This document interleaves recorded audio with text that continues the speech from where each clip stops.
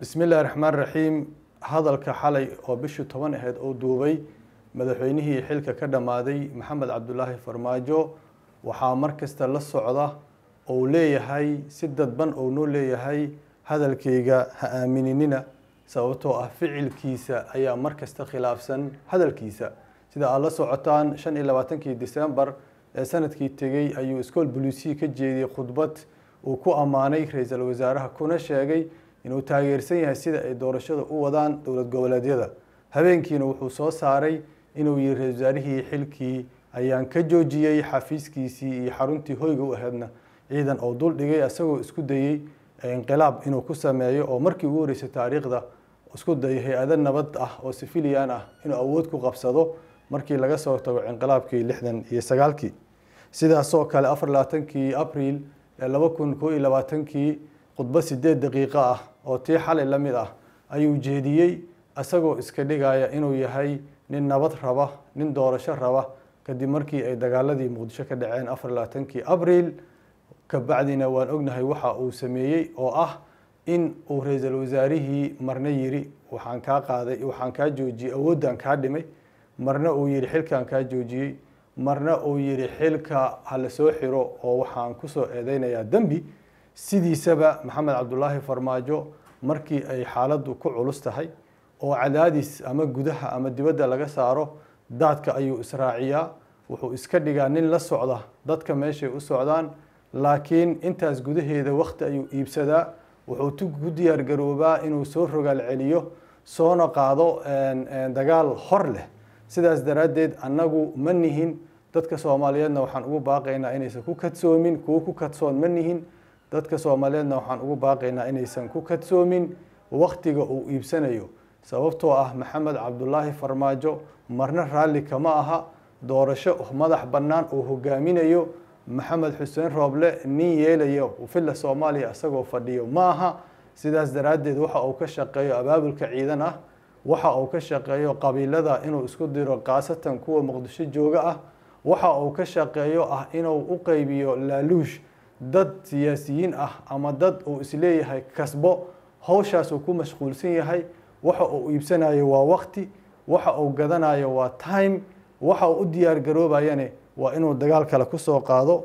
Ra'iisul wasaare maxamed xuseen rooble muxuu sidaas u sameeyey xalay khudbadaas u jeediyey. Shir aan ognahay inuu ka soo horjeeday oo shir kale garab dhigtay ou diidanaa waxa aad taageeraysa sowmaha wax markii hore aada ogoleed shirka aad taageeraysa natiijadii sowmaha shir markii hore aada qeyb ka aheyd ama aada ogoleed ama aada taageersaneed intaasoo dhan ma aha. Cadaadis caalami ah oo dibadda laga soo saaray iyo cadaadiska gudaha oo shirqoolkiisii uu fashilmay oo ra'iisul wasaarihiina ka hor yimid daraaddeed ayuu wuxuu isku dayayaa inuu daadka israaciyo waktina ku iibsado sidii horay oo u samey jiray. Annagu mar kasta waxaan fiirinaa ficilkiisa asagaana odhanaya ficilkayga iyo qowlkayga waa iskhilaafsan yihiin. Mar walba ayaan darri ka weyn ma jirto hal sano oo constitutional crisis dalkan inuu ku jiray. Maantana wuxuu ku jiraa waxaa waaye asmad dastuuriyo shalay ku jiray. Maantana wuxuu ku jiraa waa asmad credibility in aan madaxweynihii dalka ee xukunka afarta sano sharciga ku joogay sanadka ku dhowaadna sharci darrada ku joogaa qowlkiisa meel laga qabto iyo wax laga rumeeyo aan lahayn waa ninka kule ra'isul wasaaraha xilkan ka qaaday waan ka joojiyey haddana soo saaraya warqad xafiiskiisa ku socota waa ninka odhanaya ra'iisul wasaaraha waa fiican yahay galabtii odhanaya habeenkiina warqad soo saaraya oo dhahaya waa fashilayey shaqadii waa ku fashilmay waa ninka shirka ra'isul wasaaraha ku baaqay diiday markii wixii ka soo baxayna dhahaya waan rumaystay taasi waxaa la yidhaahdaa crisis ama asmad credibility-ga misdaaqiyada qofka qowlkiisa lagu rumaysan karo wax ka xunna ma laha. Qof madaxweyne dal soo maray inaan hadalkiisa meel laga qabto iyo xubin laga qabto iyo meel laga rumaysto uusan lahayn. Waxaa kuu soo har uu qabka ku sheegay. Qabkan lagu celceliyo oo maalin kasta la yidhaahdo qabkii soomaaliya la soo celiyey. Qabka soomaaliya ma waxaa lagu soo celiyay in muwaadin soomaaliyeed oo katiinadaysan dowlad ajnabiga loo dhiibo. Qabka soomaaliyeed ma waxaa lagu soo celiyey ciidan kumaandoosa oo etoobiya ah oo dariskeenna ah in kismaayo lagu qabsado lagu afgembiyo maamul halkaas ka jiro la isku dayo qabma waxaa lagu soo celiyey in madax madax madaxweyne ama ra'iisul wasaare dal kale inta diyaarad kugu qaato madaxweyne dal kale kuu geeyo adoona ku talagelin miyaa qab lagu soo celiyey? Qabma waxaa lagu soo celiyey in askari ethoobiyaana doolow inta ka khudbeeyo uu yidhaahdo annaga idinka walaalaan nahay laakiin cadow kale ayaan leenahay. Oo cadowgaas loola jeedo dowlad goboleedka jubbaland ma waxaa qabkii lagu soo celiyey in wasaaradda arrimaha dibadda inta lagaa soo waco maraykanka lagu yidhaahdo georgi waxaa wada la shaqey ra'iisul wasaaraha. Qab ma waxaa lagu soo celiyey in dowladaha dariska ah la yiraahdo ood la socotaan wasiirka arrimaha dibadda maraykanka inuu markuu hadlayey uu yidhi annaga gobolka khaasatan ethoobiya iyo soomaaliya waxaan ka warsanaynaa madaxweynaha dowladda kenya in la yidhaahdo miyaa qab lagu soo celiyey? Xilka waxaa lagu wareejiyey asagoo madaxweynihii ka horeeyey xarunta white houseka lagu qaabilayaa lagu wareejiyey xilka maxamed cabdulaahi farmaajo. Maantana waxay maraysaa in la yidhaahdo arinta soomaaliya waxaa laga hadlayaa uhuru kenyatta. Taas waa been qab la soo celiyey ma jiro soomaaliya quursi iyo meel hoose ayaa loo celiyey waxaan kaloo rabaa inaan dul istaaga arrinta ciidanka uu leeyahay ciidan baa la dhisay. Ciidanka la dhisay kii madaxda lagu weerarayo sow maaha madaxweynayaashii hore. Kii mucaaradka lagu xabadaynayo guryahooda u dhacaya sow maaha. Ciidanka kii guddoomiyihii hore ee baarlamaanka xilka xoog uga tuuro isku hareereeyey xarunta baarlamaanka iyo hoygii oo deganaa ma aha ciidanka midka ra'iisul wasaaraha duldhigay askarta oo rabay xaafiiskiisii xaruntiisa inuu la wareego sow maaha ciidanka uu dhisay ciidanku sow maaha midka aan hal maalin al-shabaab xabad ku ridin shantii sano oo maxamed cabdulaahi farmaajo xaafiiska joogay afartii sharciga ahayd iyo sannadkii sharci darrada ahaa. Ciidanku sow maaha midka hadda villa soomaaliya dhexdeeda isku hor fadhiya ee guryaha villada ku hareereysan ijaarkeeda iyo kiradeeda la isku dagaalayo sida boos loo kala xirto. Ciidanka sow maaha kii bartanka dhiiqada siyaasadda aad ka fariisisay oo dhallinyaradii aada isku dishay magaaladan dhexdeeda oo aada dowlad goboleed kasta u dirtay si ay uga soo dagaalaan aadna diiday inay hal xabad shabaab ku ridaan. Ciidankaas miyaa midka aad dhistoo noo sheegaysid?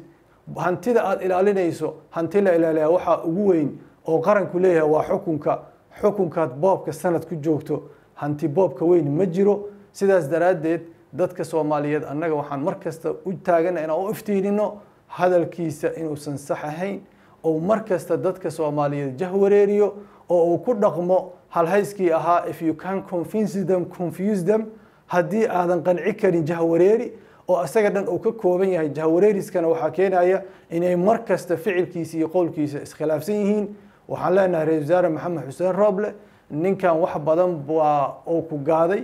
oo kuu been sheegay oo wakti iibsaday. Dadka soomaaliya waxay maanta kaaga fadhiyaan waa inaad doorasho xalaal ah oo daahfurnaan la qabato habraacyadii adiga iyo dowlad goboleedyada intii la sixi karay waa saxdeen waxaa lagaga baahan yahay inaad doorasho xalaal ah. Dadkii kuraastooda la soo boobo dib loogu noqdo doorashada soo socoto mid xalaala noqoto dadka soomaaliyeed oo sharaf iyo karaamo iyo cadaalad aada u samaysaa lagaa sugayaa. Ninka kan wuxuu doonayaa dardarta iyo guusha maadaama uu ku fashilmay inuu shaqo kaa joojiyo maadaama uu ku fashilmay inuu ku cinqilaabo maadaama uu ku fashilmay inuu shirkii fashiliyo maadaama uu wuxuu dhan ku fashilmay oo momentumka ama ay dabaysha xaggiisa u soconin waktiguu iibsanayaa inuu ku gaado maaha dhegjalaq ha u siinin doorasho xalaala siday ku dhici lahayd ciidanka sidii siyaasadda looga dhex saari lahaa askar iyo saraakiil iyo madax quman oo amarka xafiiskaaga iyo xukuumadda hoostegaysa loo heli lahaa shaqadaas qabso